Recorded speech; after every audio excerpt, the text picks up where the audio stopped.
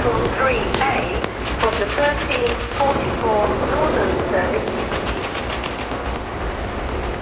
Heading for the.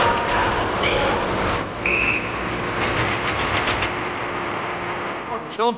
Morning, John. What's your name? Sean. Uh, Sean. Sean. Sean. Are you a regular player? I've played a little bit, yes. Yes, Yeah. a little bit, yeah.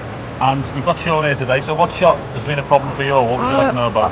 I never seem to be able to time the stun run right. Either get too short or too far. I never really get it as I want to get it. Yeah, it is actually quite a tricky shot. I think it's probably the trickiest shot for most amateurs to play. Yeah, because the stun run through is kind of half a stun and half a, a run through, so it's really actually the players on the telly make it look so easy. And you were one of the best players at it, you know, playing that really good stun run through.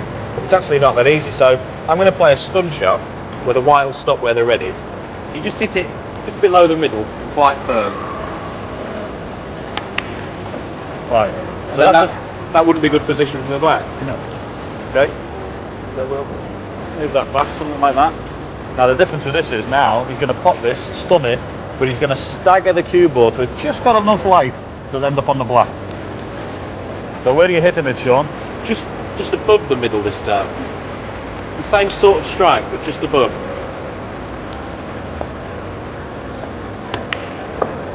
So once again, it's all about where you're striking the cue ball. So it's basically the same strike, it's the same delivery of the cue, but all it is is moving the tip slightly higher up the cue ball. Can I have a go? Yeah. Okay. So just above the middle in the white ball. nice and straight for you?